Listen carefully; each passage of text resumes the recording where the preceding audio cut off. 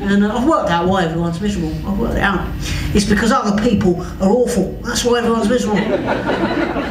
other people are so selfish, aren't they? I'm selfish. I don't like doing things for anyone else unless I know, know I'm going to get something out of it myself. Like, um, I was making a cup of tea for someone the other day. I thought, what's in this for me? I couldn't think of anything, so I tipped it down the sink. selfish, I'm selfish. Both my parents are quite elderly now.